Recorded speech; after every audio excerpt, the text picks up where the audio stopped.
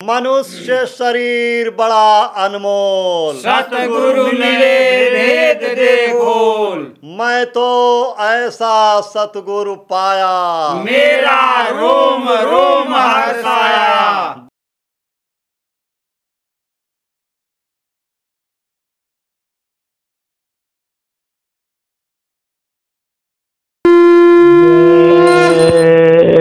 गुरुदेव। सार शब्द अंतर बसे पाऊँ तेरा भेव सुरत समाए शब्द में परखूं जय गुरुदेव।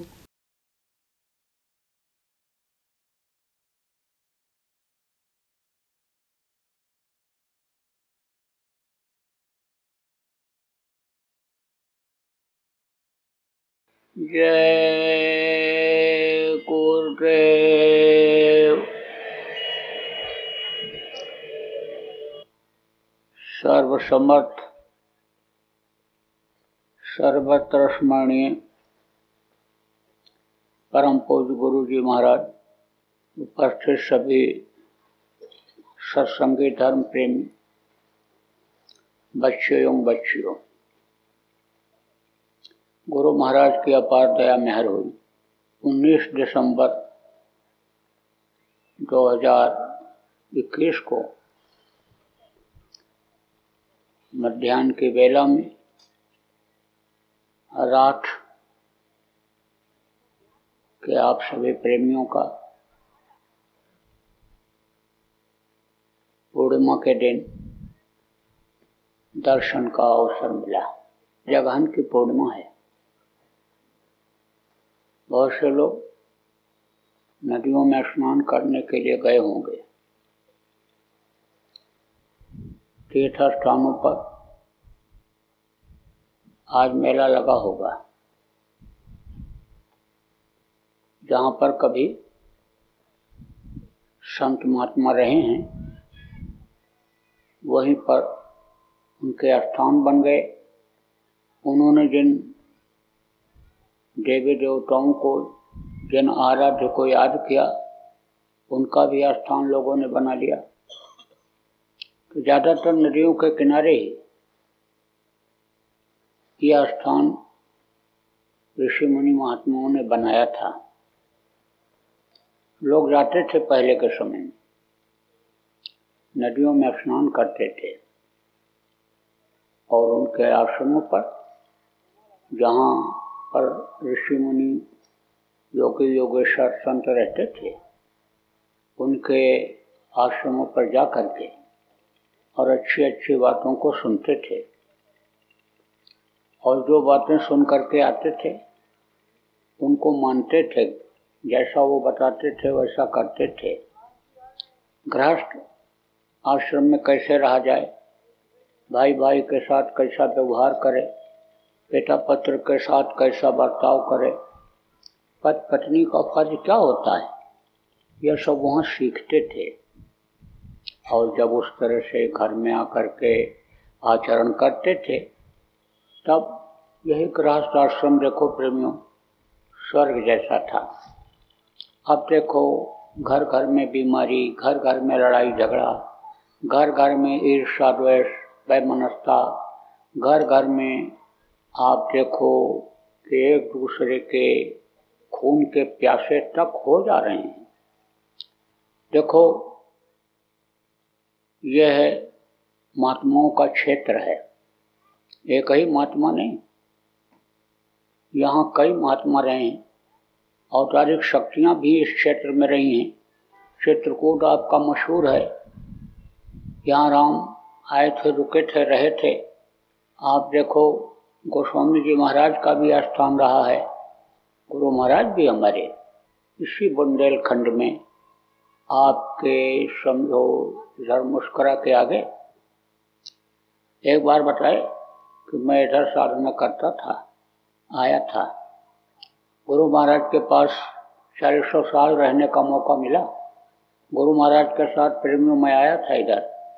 गुरु महाराज ने बताया कि मैं यहाँ इधर आया था। और यहाँ रहता था, साधना करता था। बसोठ में गुरु महाराज के गुरबाई रहते थे। उन्होंने भी बताया, कहाँ यहाँ से थोड़ी ही दूर है पाँच छः किलोमीटर, सात किलोमीटर की दूरी पर। जहाँ पर गुरु महाराज भी यानी साधना किए थे।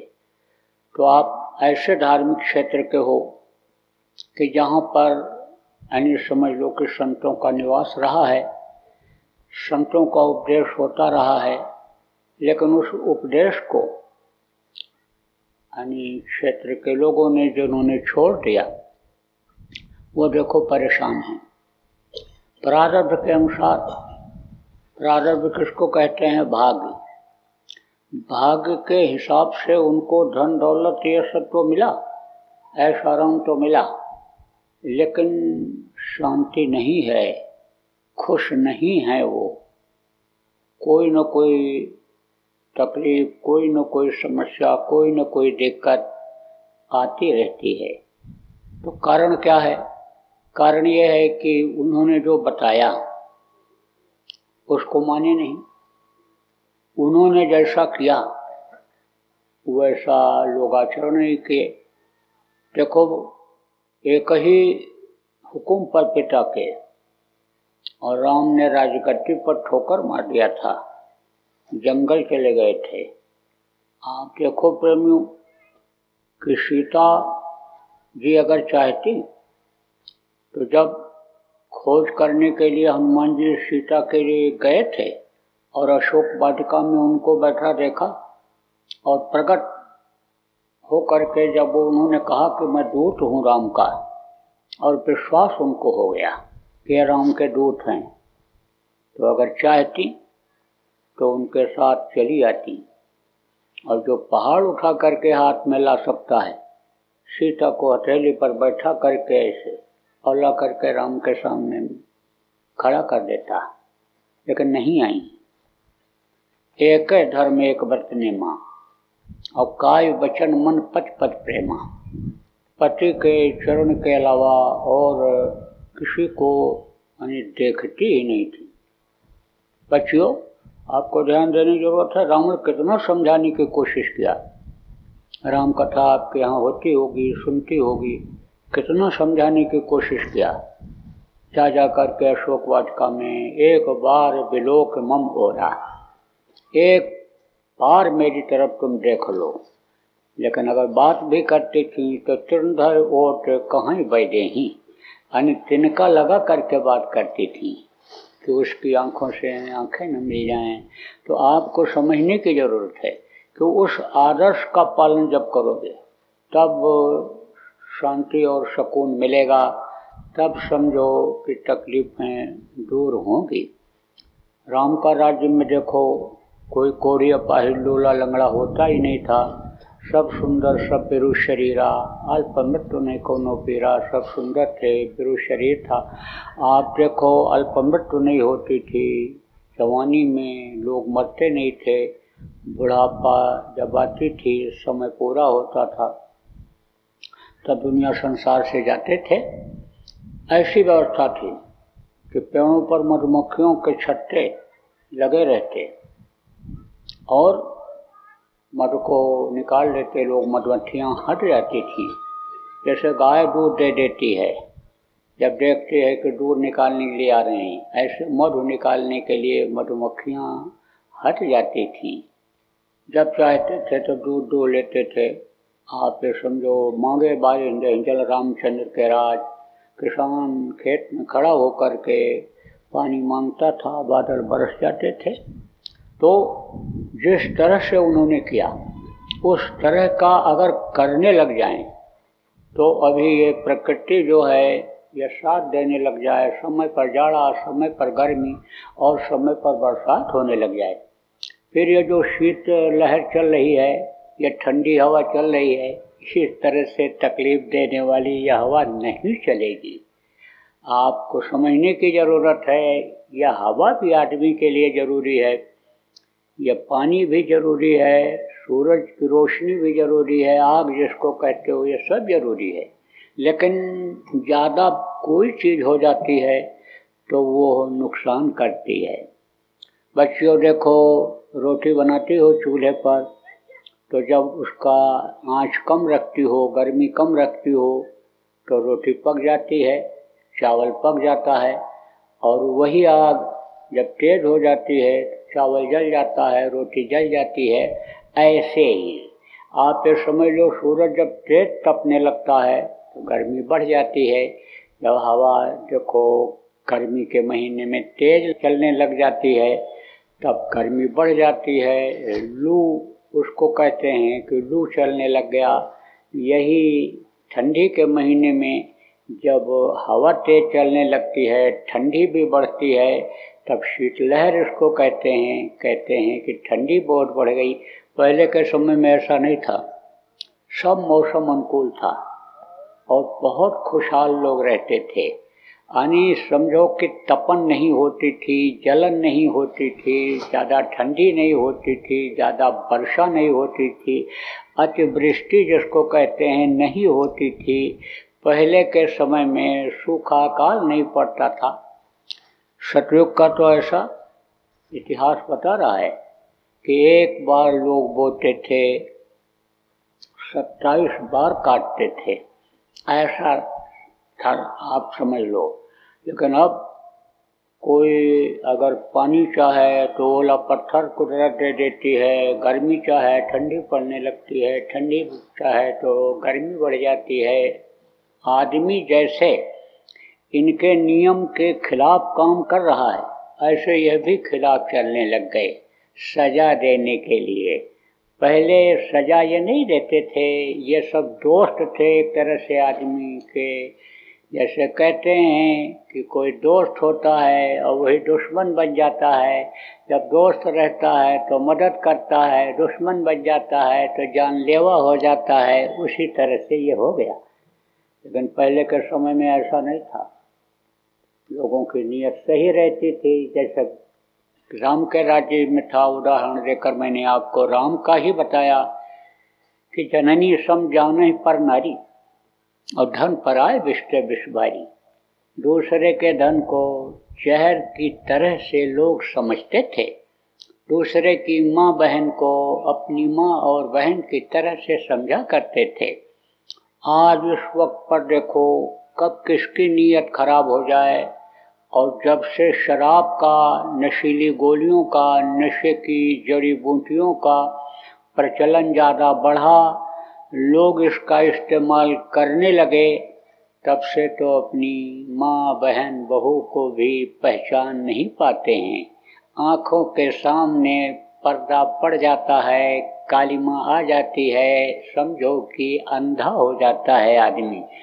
तो प्रेमियों कहने का मतलब यह है कि जब से ये मांसाहार बढ़ा, मांस का सेवन लोग करने लग गए, खून में गर्मी जब से आई, तब से यह पहचान लोगों की खत्म हो गई। तो किसकी भूमि है? यह राम की भूमि है, कृष्ण की भूमि है, महावीर की भूमि है, बुद्ध की भूमि है, परशुराम की भूमि है, ये किसकी भूमि है? ये कबीर की भूमि है, गोस्वामी की भूमि है, पलटू नानक की भूमि है, ये अनिश दयाल जी महाराज, जिनको राधा स्वामी कहा गया, उनकी भूमि है, ये हमारे गुरु महाराज का कार्य क्षेत्र है। कितनी बार गुरु महाराज बुंदेलखंड में आए, ये उनकी भूमि है। अब इस भूमि पर आप देखो गलती जब लोगों ने किया तो क्या क्या किस तरह की सजा मिली, इसको आप देखो। रावण कितना विद्वान था। और राम के अंदर उतनी शक्ति नहीं थी कि रावण को मार पाते। जो कला उन्होंने परशुराम जी से प्रार्थना करके, मांग करके अनि लिया था, और फिर रावण को मार पाए थे। चार वेद छह शास्त्र अठारह पुराण का जानकार था। कहता था, स्वर्ग तक सीढ़ी लगा दूँगा, सीढ़ी पर चढ़ कर के लोग स्वर्ग पहुँच जाएँगे। इतनी उसके अंदर जानकारी थी, ज्ञान था, विद्या थी। बड़े बड़े देवता ठहरते नहीं थे, हट जाते थे। वरुण कुबेर, गोस्वामी जी महाराज ने सब लिख रखा है, कुछ नहीं छोड़ा। यह सब उन्होंने उदाहरण देकर समझाया। लिखा तो उन्होंने, जो घट में राम का चरित हो रहा है, राम चरित मानस मानस के अंदर जो राम का चरित हो रहा है, उसको उन्होंने लिखा। लेकिन उदाहरण देकर इसलिए समझाया कि समझ में लोगों के आ जाए। सीधे सीधी बात अगर आपको बताई जाए तो समझ नहीं पाओगे। उदाहरण देकर जब समझाया जा रहा है तब आप समझ जाओगे। तो समझो कि लिखा तो उन्होंने उत्तरकांड में सब आध्यात्म के बारे में ही, लेकिन इधर से उन्होंने बालकांड से शुरू किया है और सारे कांड अलग अलग उन्होंने लिख रखे हैं, सब में अलग अलग चीज़ें आई हैं। तो इसलिए बता रहा हूँ आपको कि आप लोग रामचरित मानस पढ़ते हो होगे, गोस्वामी जी महाराज ने लिखा था और गोस्वामी जी महाराज का ये कार्य क्षेत्र रहा है, राम का भी यहाँ पर बड़ा महत्व है, इसलिए आपको समझा रहा हूँ। प्रेमियों तो आप ये समझो कि उन्होंने ये बताया, कहा कि देखो, वरुण कुमेर सुरेश समीरा और रण सम्मुख धर काहू नधीरा बड़े बड़े देवता, उसके सामने ठहरते नहीं थे, किसके? रावण के, हट जाते थे, इतना वीर था। जब देखा कि लड़ाई के लिए निकला रावण तो उसका जो भाई था, विभीषण, वही दुखी हो गया। राम रथी व्रत रघुवीरा, देख विभीषण भयो अधीरा। कि कैसे ये बंदर और भालू इनके सामने ठहर पाएँगे टिक पाएँगे? ये राक्षस तो जब भैंसा उठा करके मुँह में डाल करके और निकल जाते हैं तो ये बंदर और भालू कैसे ठहर पाएँगे? लेकिन तीन बुराई उसके अंदर जो थी वही उसकी शक्ति को खत्म कर देती थी। कौन सी बुराई थी? मांस खाता था, शराब पीता था, और जब बुद्धि खराब होती थी तब दूसरे की माँ बहन की पहचान आँखों से ख़त्म कर लेता था। तो आपको इसलिए बता रहा हूँ कि देखो उसका क्या हश्र हुआ, उसका क्या हाल हुआ। एक लाख पूत सवा लाख नाती और रावण घर दिया न बाती एक भी नहीं बचा। तो आप कैसे सोच सकते हो कि ये दुनिया रहेगी, लोग रहेंगे और कैसे अनि यहाँ राम राज्य आएगा, कैसे राम राज्य रहेगा, कैसे ये मशहूर जगह हो पाएगी, कैसे आप सोच सकते हो? देखो, एक अबला की अनि समझो, जब जाने लगी थी किसकी द्वापर में द्रौपदी की? तब क्या हुआ था? महाभारत। महाभारत का वही कारण बना। आपको समझने की ज़रूरत है कि ग्यारह अक्षोणी सेना छप्पर करोड़ वंशी इसी वजह से खत्म हुए थे। किसकी वजह से? कि नीयत खराब हो गई थी। आँख का पानी मर गया था। दूसरे के लोभ लालच में धन के जो धन पर आए विष्टे विषवारी दूसरे का हिस्सा, दूसरे का धन। विष की तरह से होता है, लेकिन उसको पाने की जब इच्छा जगी और उधर से हटी नहीं, तब विनाश हुआ। महापुरुष आते हैं, समझाते हैं, बताते हैं। अगर लोग मान जाते हैं, तब तो दया वर्षा देते हैं। और अगर नहीं मानते हैं तो समझो कि काल का रूप धारण कर लेते हैं। देखो, भगवान राम को ही देख लीजिए, कई रूपों में रहे। आप समझो जब उनको युद्ध करने को हुआ धनुष बाण उठा करके रौद्र रूप धारण कर लिया। दया भाव उनके अंदर पहले देखो कितने रहे, दोहराने का समय नहीं है, आप लोग कथा सुनते रहते हो। ऐसे कृष्ण ने समझाया, खूब समझाया। कहा, मान जाओ मान जाओ दो इनका भी हक होता है, इनको दो कुछ हिस्सा इनका भी होता है। लेकिन कौरव ने कहा, सुई के नख के बराबर भी ज़मीन नहीं देंगे। तब बोले कि अब तो विनाश काले विपरीत बुद्धि, इनकी बुद्धि विपरीत हो गई, अब तो विनाश होना ही होना है। लेकिन तो भी दया भाव उन्होंने खत्म नहीं किया। आप समझो, जो काम करने के लिए आते हैं, कौन आते हैं? जैसे भगवान राम जिनको कहा गया, भगवान कृष्ण जिनको कहा गया, उनको समझ लो, भगवान बुद्ध कहा गया, भगवान परशुराम कहा भगवान जो कहे गए, ये आते हैं काम करने के लिए, धर्म की स्थापना के लिए। और दुराचारियों के संहार के लिए तो इनके अंदर दोनों धार होती है दया धार और काल धार देखो, खुद कहा राम ने कि काल रूप तिन कर्म भ्राता, शुभ और अशुभ कर्म फल दाता। मैं तो जो काल का काम है वो भी करता हूँ। और दया भाव भी है मेरे अंदर। जो दया के घाट पर बैठता है, उसको दया देता हूँ। जो काल के स्थान पर रहता है, उसको उसको सजा भी देता हूँ। तो कृष्ण के अंदर दया भाव आखिर तक रहा। आप समझो कि महाभारत शुरू होने को जब हुआ तो उड़वी कर्नाटक में एक राज्य है, अब भी है। उड़वी के जो राजा थे, वो कृषि के तरफ़ नहीं गए थे।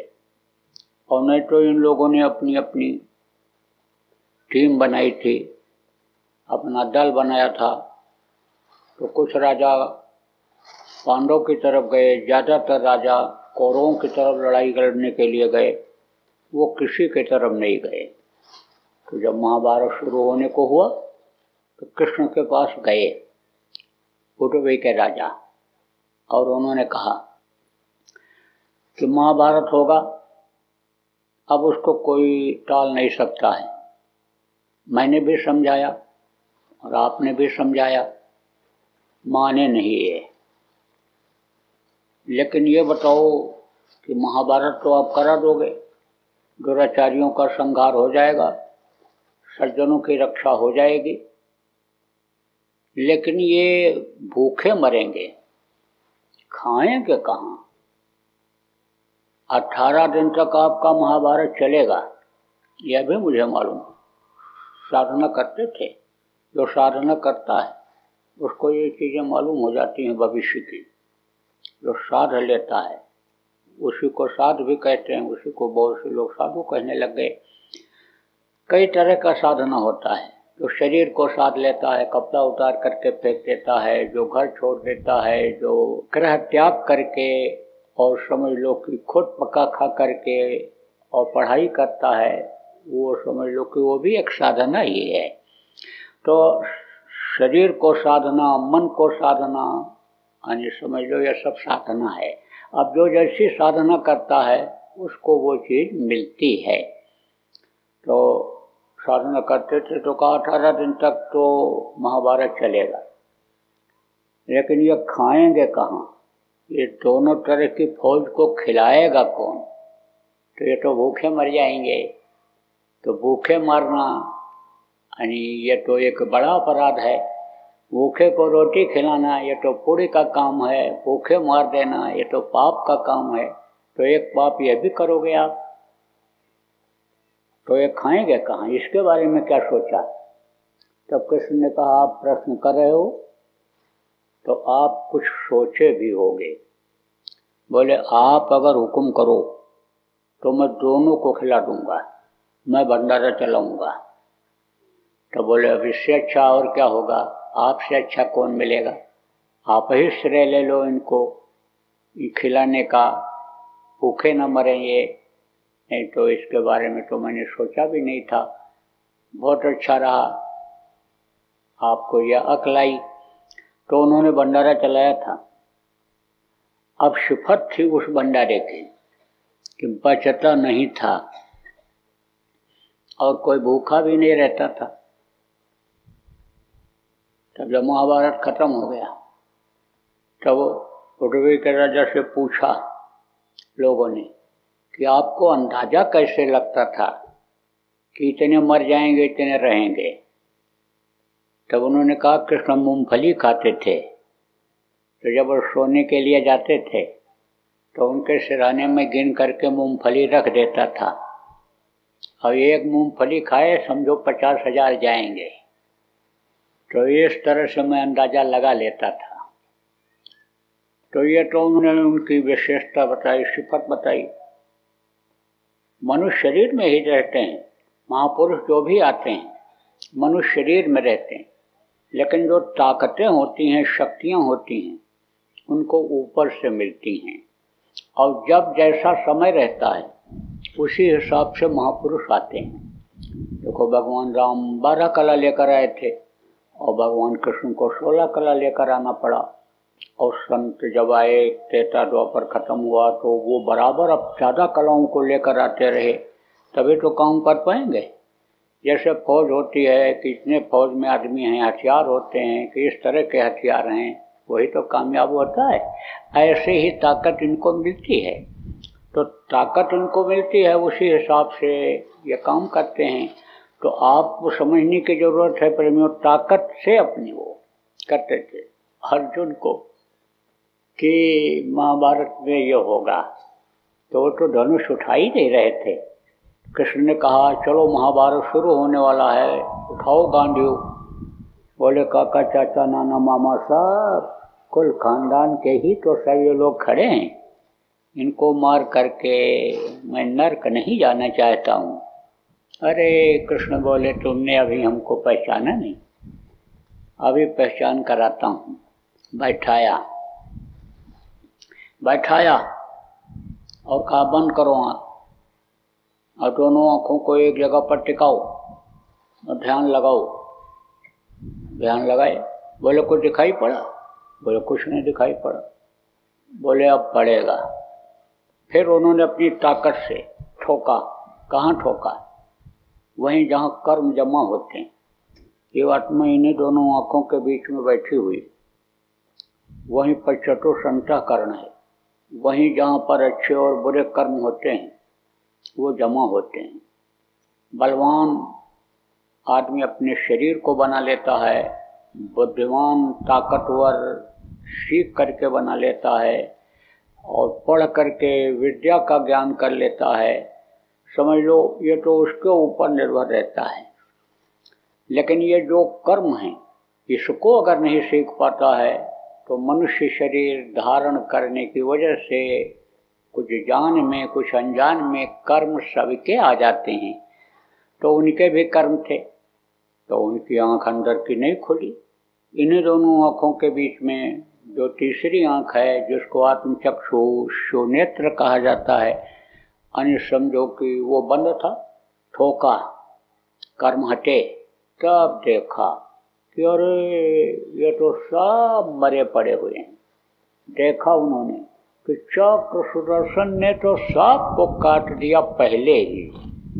मुझे तो खाली, यानी गांधी उठा करके, आँख बंद करके तीर को छोड़ना ही है। उठा लिया गांधी। और आँख बंद करके तीर छोड़ते ही चले गए। आपको मैं प्रमाण देकर बताऊँ, सिद्ध यह कब हुआ कि जब बब्रिक इसका प्रमाण दिया। महाभारत खत्म हो गया। महाभारत जब खत्म हो गया, तब उस समय पर आप समझो कि यह सब पहुँचने लग गए, खुशी मनाने लग गए। तब अपनी अपनी तारीफ़ करने लग गए। भीम ने कहा, मैंने मारा। नकुल ने कहा, मैंने मारा। सहदेव ने कहा, मैंने मारा। कृष्ण ने कहा, मारा किसने? तो पूरा महाभारत देखा है। वो बताएगा, कौन देखा था? बबरीक बबरीक का सिर काट करके वहाँ रख दिया था। वरदान मांगा था उसने कि मैं पूरा महाभारत देख लूँ, तब मेरे प्राण निकलें। बहुत वीर था। आपको बता दूँ, शायद न सुने हो बहुत से लोग। जब महाभारत शुरू होने को हुआ, खड़ा हुआ था पीपल के पेड़ के नीचे बबरी कृष्ण भगवान जा जा ले रहे थे कौन कौन वीर आए हैं? देखा तो कहा, तू कौन है? यहाँ क्यों खड़ा है? लड़ाई लड़ने के लिए। लड़ाई लड़ने के लिए? हथियार तो तेरे कुछ है नहीं। लड़ेगा कैसे? तीन तीर था उसके पास। कहा इसी से लड़ूँगा। बोले, इतना बड़ा महाभारत? तो केवल तीन तीर से लड़ेगा? बोला, एक एक तीर कमाल दिखाएँगे। क्या कमाल दिखाएँगे? निकाला एक तीर और कहा, देखो, इसको मैं छोड़ने जा रहा हूँ। पीपल के पेड़ के ऊपर जितने भी पत्ते हैं, सबको नट्ठी करेगा और नट्ठी करके ज़मीन पर आएगा ज़मीन पर जितने भी सूखे कीले पत्ते पड़े हुए हैं, उनको नट्ठी करेगा। और नट्ठी करके फिर हमारे पास आ जाएगा कृष्ण ने एक पत्ते को अपने मुट्ठी में ले लिया और दूसरे को पैर के नीचे दबा दिया। सोचे, देखे, मेरे पास कैसे आता है? छोड़ा उसने। सारे पत्तों को नीचे ऊपर के बींद करके और कृष्ण के पैर की तरफ़ आगे बढ़ा। तब बोला, पैर हटाओ, नहीं तो पैर भी नट्ठी हो जाएगा। पैर हटाया, उस पत्ते को भी नट्ठी किया। फिर इनके हाथ की तरफ़ बढ़ा कृष्ण के, तब फिर वो चिल्लाया, मुट्ठी खोल दो, नहीं हाथ चला जाएगा। मुट्ठी खोला, उस पत्ते को भी नट्ठी करके और उसके पास तरकश में आ गया। कृष्ण ने कहा, बड़ा वीर है भाई। बड़ी कला इसको आती है और हथियार भी इसके चोखे हैं। तो महाभारत का तो महा महाभारत हो जाएगा अट्ठारह दिन में तो नहीं खत्म हो पाएगा। पूछा उससे कि तू लड़ेगा किसके तरफ़ से? बोला, जो हारेगा उसी की तरफ़ से लड़ूँगा। कृष्ण ने कहा, फिर तो हम और ये दोनों आमने सामने हो जाएँगे। उससे कहा, ये बता कि तू तेरे अंदर और कोई विशेषता है? खासियत है? बोला, मैं दानी हूँ। क्या चीज़ दान करते हो? मेरे पास जो चीज़ रहती है, कोई माँगता है, दे देता हूँ। मुझे भी देगा, दे दूँगा। तो कहा, तू अपना सिर मुझे दान में दे दे। बोला, ठीक है। कह दिया है तो आने समय लो कि देना ही देना है। कहा ना रघुकुल रेत सदा चली आई, प्राण जाय वर बचन न जाई। पहले के समय में जो जवान दे देते थे, पूरा करते थे। राजा दशरथ ने जवान का ही तो अनिल समझो पालन किया और अपने हृदय के टुकड़े को, राम को अपने राजगद्दी देने वाली जगह से उतार करके और जंग, जंगल भिजवा दिया था। तो आपको समझने की ज़रूरत है प्रेमियों कि उसने कहा, ठीक है सिर तो काट लो हमारा। लेकिन मैं महाभारत देख लूँ, तब मेरे प्राण निकले। बड़ी बड़ी कला आती थी लोगों को। यानी समझो कि सिर भी उसका ज़िंदा रहा। आप समझो सिर काट देते थे और ऐसे जोड़ देते थे। और फिर खड़ा हो जाता था आदमी। यह सब विद्या थी।